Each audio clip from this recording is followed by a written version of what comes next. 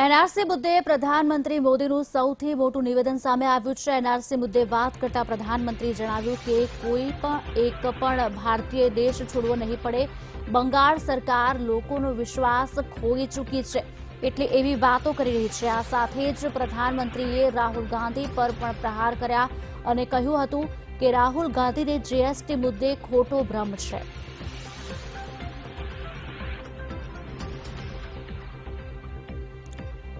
તો જીએસટીને લઈને રાહુલ ગાંધી પર પણ પ્રહાર કર્યા. એનઆરસી મુદ્દે પીએમ મોદીનું મોટું નિવેદન સામે આવ્યું છે. કહ્યું છે કે કોઈ ભારતીય દેશ છોડવાની જરૂર નહીં પડે.